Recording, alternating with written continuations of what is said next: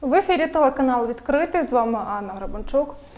Ну що ж, ця нічка була відносно так неспокійною, були дуже довгі е, тривоги. Е, наразі ситуація стабілізувалася.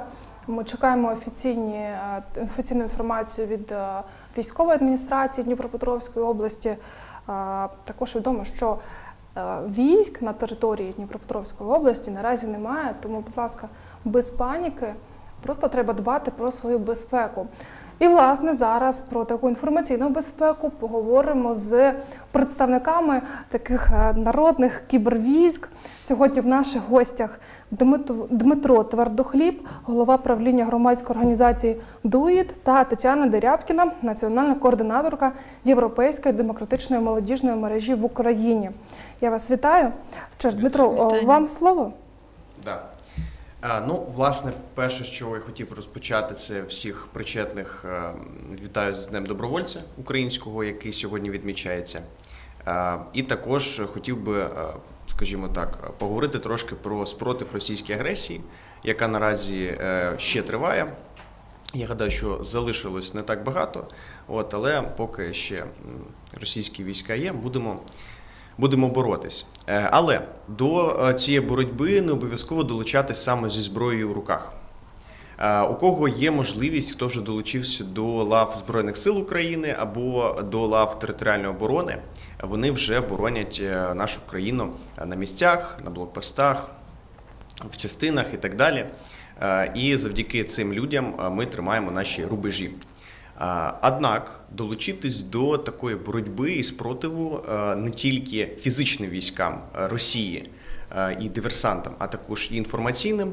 А як ми знаємо, що ці інформаційні війська Росії, скажімо так, воюють да, в нашому інформаційному просторі вже багато років, і навіть не 8 років спочатку агресії в 14-му, а набагато раніше вони почали це робити. Наразі є така потреба в тому, щоб, скажімо так, від них відбиватись, так як е, до інформаційних військ, які несуть дезінформацію в Україну, і також е, фіксують е, пересування наших військових, там сил територіальної оборони і так далі. А вони також займаються тим, що, скажімо так, намагаються всіляко завадити роботі нашої інфраструктури, добровольців, органів влади. І з усім цим можна боротись, навіть не виходячи з дому, да, долучившись до, ну, назвемо їх кібервійська. У нас багато організацій громадських в Україні вже створили а, ініціативи, пов'язані якраз із такою боротьбою да, на інформаційному фронті. А, загалом з організацій я навіть не буду перелічувати, скільки їх зараз. А У нас е, багато організацій, які зараз вже долучені да, в вигляді волонтерських робіт до захисту. Е, Вони також і е, займаються тим, що в інформаційному просторі за допомогою ботів, е, чат-ботів, за допомогою скарг, блокувань різних алгоритмів вони борються. Це зробити абсолютно неважко. Долучитись до цих ініціатив абсолютно не складно. Це може зробити будь-хто, у кого є навіть просто телефон. В нашій організації також є робоча група. Е, ну, Я би навіть сказав, вже по кількості людей це, напевно, великий підрозділ, е, який в свою чергу займається тим, що активно е, знаходить і е, блокує сторінки ворожої пропаганди в різних соціальних мережах, месенджерах і так далі. Я думаю, що більш детально про це може розповісти моя колега із мережі Іден в Україні Тетяна. Так, друзі, всім вітання. Дійсно, зараз ем, ти, е, те, чим ви можете допомогти, е, сидячи вдома, як то кажуть, на дивані, це інформаційно. Не потрібно забувати, що кожна людина зараз в Україні е, і її вклад в те, щоб ми перемогли найближчий час, є важливим. Е, Як взагалі ви можете долучитися до цього всього? Е, Як і говорив мій колега Дмитро, щодо чат-ботів, щодо телеграм-каналів, у нас е, були створені Міністерством цифрової трансформації, а також іншими міністерствами такі чат-боти, наприклад, про повідомлення про ворожу техніку, якщо ви побачите, або якщо ваші колеги з або друзі, родичі з інших міст е, також е, там вам інформацію, що побачили саме техніку ворога, то потрібно е, зайти в Telegram, знайти Stop Russian War Bot, туди зареєструватися, туди закинути фотографії, і цим ви можете допомогти нашим Збройним силам України. Е, Також найбільш найбільш таким потрібним механізмом зараз є це блокування сторінок у соцмережах з російською пропагандою, тому що потрібно розуміти, в Росії е, російська пропаганда вже близько 30 років з моменту е, падіння е, нашого не нашого, а радянського союзу, і тому це є таким дуже важливим. Е, Дуже таким важливим дійством. Тобто, це е, ви просто вводите в телеграм-каналі Russia, і це ви блокуєте. Е, там є інструкція з того, як заблокувати сторінку у е, будь-якій соціальній мережі, і навіть приклади тих сторінок, які потрібно заблокувати. І декілька також телеграм-каналів, про які я хотіла сказати, це якщо вам потрібно, наприклад, переміститися е, до іншого міста, і ви шукаєте собі машину або людину з машиною, яку вам потрібно, е, до якої ви можете підсісти. Також є такий телеграм-бот, е, називається Нам по дорозі. Також вводите в телеграм-канал, зараз це дуже популярний месенджер, і шукаєте. І останнє також дуже важливе, що в нас було е, в Дніпропетровській області, те, що робили і е, мої колеги з молодіжної мережі, і також наша організація. Це ви повідомляєте про ворожі мітки на дорогах і саме техніку. Називається Народний месник. Також вводите е, в телеграм-канал в телеграм в пошук, і вам вибиває цей чат-бот. Скажіть, будь ласка, а щодо так, наприклад, ворожого телеграм-каналу. От ми зазвичай от особисто я просто там жалілася, що це тероризм. А це просто можна пожалітися, чи можна якось ще більшої шкоди йому задати, там його заблокувати взагалі? Е, Заблоку... У нас немає, е, так як ми не коротко, ми не можемо заблокувати сам телеграм-канал, але ми можемо на нього пожалітися. І чим більше скарг буде на цей телеграм-канал, і чим більше вони будуть обґрунтовані, тим якіш- якісніше буде пропрацьована наша робота як кібервійськ України, будемо так говорити, і більше буде результат. Тобто канал можуть таким чином заблокувати. У нас вже такі ем, випадки були, і ми дуже від цього були раді, що ми доклали сил до цього. Якщо можна доповню, да, Тетяно? Е, Насправді не випадки були, а постійно блокуються канали в різних месенджерах і соціальних мережах. Якраз саме через скарги це найпростіший спосіб. Е, Достатньо просто е, в залежності від соціальної мережі. Е, В принципі, всі алгоритми там наша організація да, може надати без проблем. Можна там в наших робочих групах про це дізнатися, або в чат-ботах, які створені офіційно органами влади, яким чином ці скарги подати. І звісно, як Тетяна сказала, чим їх буде більше, тим швидше заблокується такий канал, тому що більшість каналів, е, які були створені як в Телеграмі, так, наприклад, там в інстаграмі, да, яким росіяни вже не сильно можуть користуватись, вони вже да, були заблоковані якраз завдяки масивним е, масованим, скажімо так, DDoS-атакам від наших хакерів українських і не тільки українських, а також завдяки скаргам, які робили звичайні користувачі, але в такій кількості, що модератори того ж Телеграма не могли е, оминути це і відповідно блокували такі канали. Якщо приблизно яка це має бути кількість, аби телеграм-канал, наприклад, заблокували? Все залежить від кількості підписників каналу, по-перше, а по-друге, від е, того, чим він займається. Якщо це канал, який ну, умовно розповідає там, про якісь там сеперські настрої, е, там, наративи російської пропаганди розсилає, такий канал можуть блокувати довго, тому що він, е, ну, на думку, ну, наприклад, якщо ми говоримо за Телеграм, на думку модераторів, не несе там серйозної е, небезпеки. Однак, якщо це канал про пересування, е, не дай Боже, там українських військ, куди е, там підписники каналу надсилають фотографії, наприклад, або це телеграм-канал, який розповсюджує інформацію про те, там, як е, ну, робити, наприклад, диверсійні якісь роботи. Проти е, України, знаходячись в Україні, такі канали набагато швидше розглядаються. По кількості я не зорієнтую, тому що дуже багато залежить від того, в який період е, це відбувається. Але загалом можу сказати, що Ну, приблизно, якщо говорити за канали, які, наприклад, займалися мітками, да, от ми згадаємо, у нас була така ем, певний період, да, вже, вже немає тенденція робити мітки в різних містах. От канали, е, в яких е, власне займалися тим, що розставляли мітки, шукали тих, хто буде це робити для потенційних та можливих якихось авіаударів, то такі канали е, достатньо було, скажімо так, задедосити, там, закидати скаргами там, три робочі групи, там, по 100, по 150 людей протягом 3-4 днів, максимум там, 5 каналів вже немає. Тобто це, от, якщо такі мінімальні цифри. Ну а максимуму немає, чим більше, тим швидше власне канал заблокують. Скажіть, будь ласка, от, наприклад, ваш вже, вже да, підрозділ, тобто у вас є між собою чат, де е, ви кидаєте да, посилання на ворожий телеграм-канал, і всі масово починають на нього жалітися. Так. Де знайти, то, наприклад, там особисто мені? Чи мені можна долучитися до вашого там підрозділу? Знову ж таки, як ви перевіряєте, чи ця людина е, надійна і чи буде вона саме боротися з кібервійськами? От де шукати ці канали? Да. От Якщо можна, Тетяна, да? Да. Ну, дивіться, е- перевіряти людину ми, на жаль, не можемо. Ми ем, посилання на цей телеграм-канал е, щодо там у нас він називається зараз група е, по блокуванню. Е, ми роз- розповсюджували серед наших каналів, також серед наших колег, волонтерів, членів організації, і всі бажаючі могли доєднатися.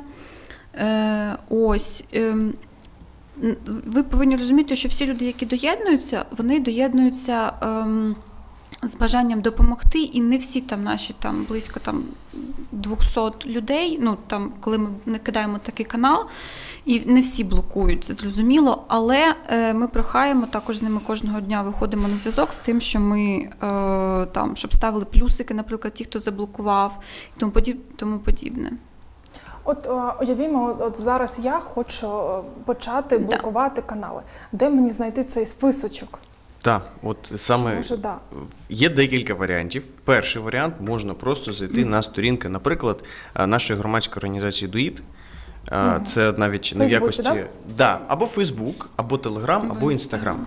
Це навіть не в якості реклами, а в якості посібника. Да? Можете там не підписуватись, але інформацію про те, як боротись, куди можна долучитись, ви там знайдете. Окрім всього цього, є е, непоганий телеграм-бот, який був створений якщо не помиляюсь, якраз Міністерством цифрової трансформації, е, кіберармбот. Також інформацію про цих ботів, посилання на них на наших сторінках є.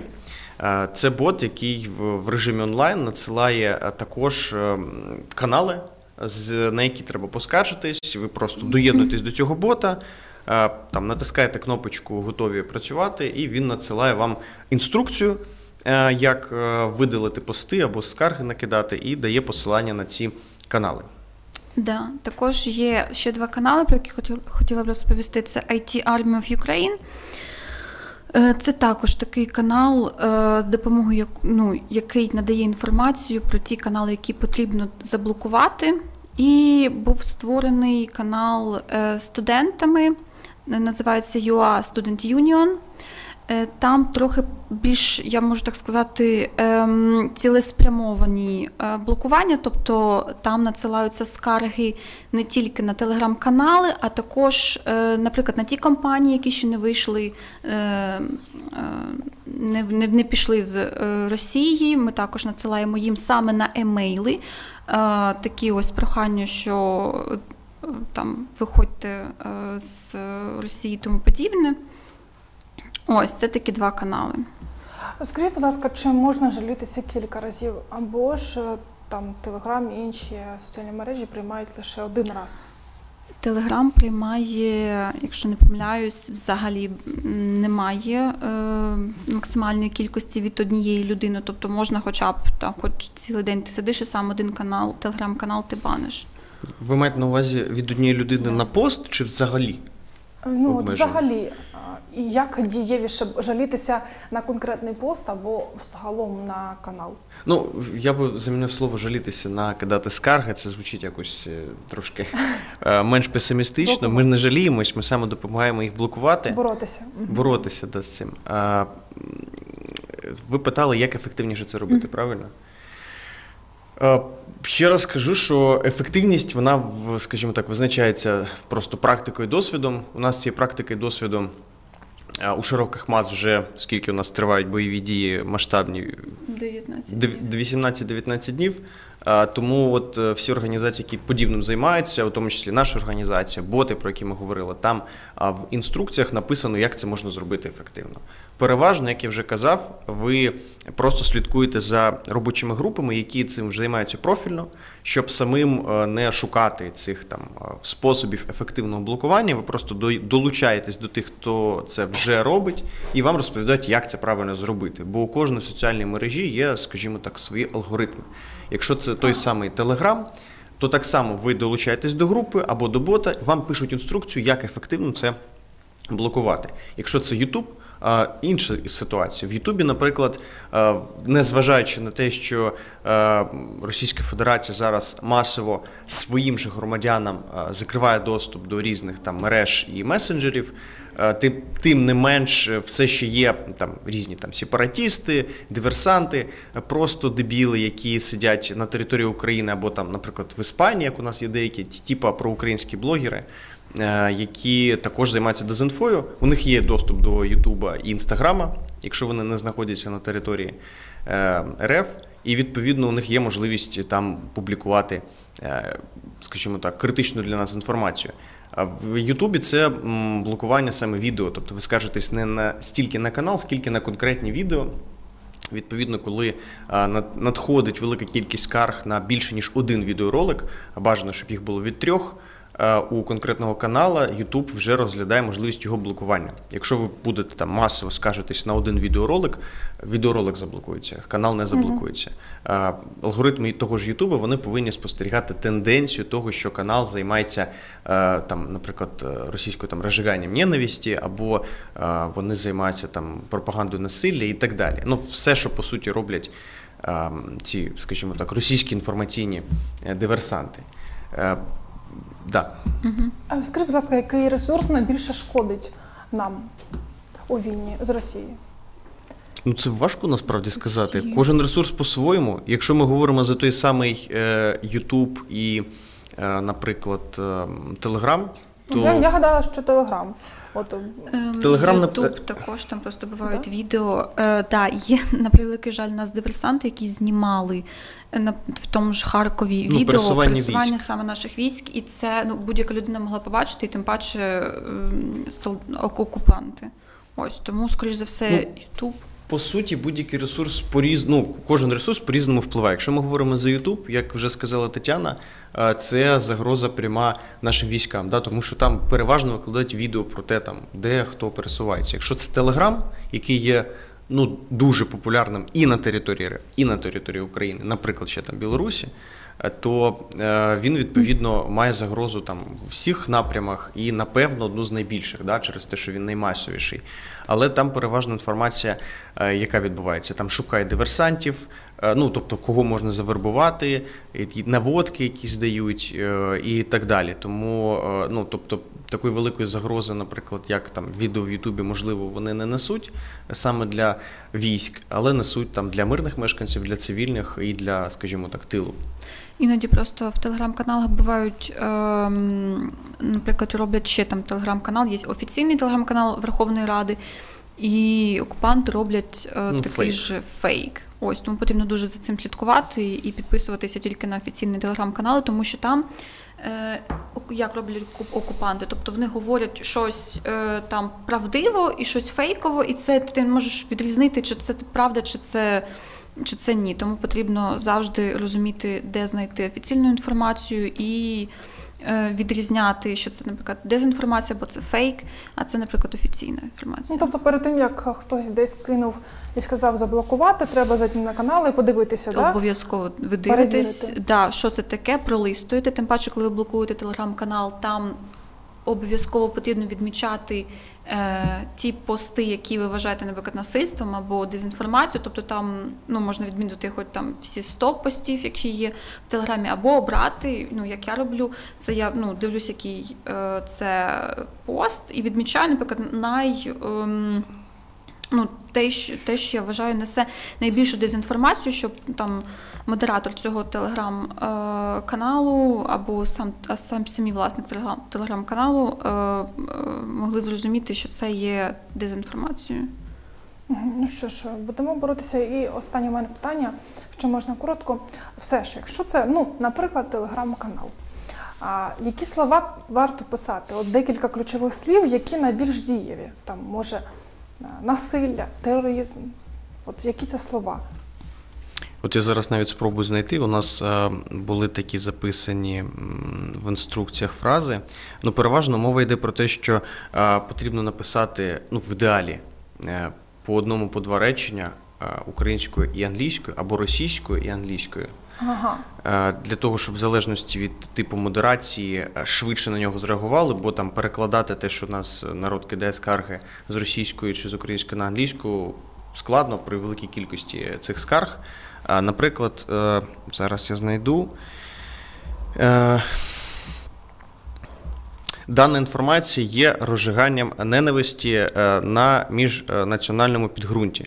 Або, наприклад, там цей ресурс є джерелом пропаганди Російської Федерації, або цей ресурс сприяє веденню бойових дій Російською Федерацією. Тобто, якщо ви зазначаєте просто такі ключові слова, як війна, насилля, або, наприклад, пропаганда, то на такі дописи, ну точніше на такі скарги звертають увагу. Ви Да. можете туди додавати е, те, що мова йде про Україну, про Росію. На це, звісно, ну відповідно швидше зреагують, ніж там, якщо на якісь канали, які не знаю, розповідає там щось про.